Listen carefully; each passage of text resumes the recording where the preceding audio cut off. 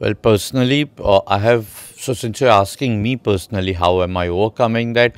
I don't have a challenge. I mean, God has been kind and there is clarity of thought as to what I want to do. I have an advisory which has been there for more than 20 years. Distribution always has been there.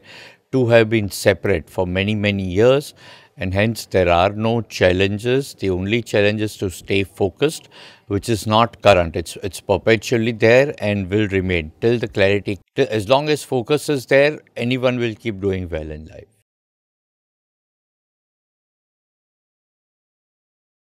Since I am in media for more than 15 years, I've been I've written more than 1000 articles across three languages and more in electronic as well.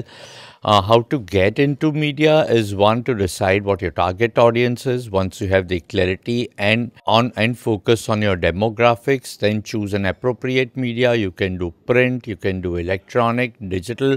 Social media is also there. So pick up the one which you are more comfortable and where your target audience comes more often.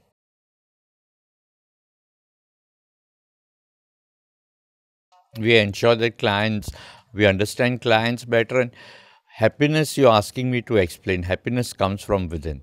So as long as client feels secured he is happy. If client doesn't feel secured he is not happy. Now how to make somebody feel secured is to think from his perspective not appropriate on my part to give tips because when I give tips, I do it based on my past experience. And based on my past experience, I'm expecting somebody to live in future. That's preaching.